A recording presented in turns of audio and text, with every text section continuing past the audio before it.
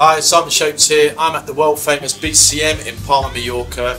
It's been a minute since I've been here, and I tell you what, I'm really excited to be back. So let's go do it.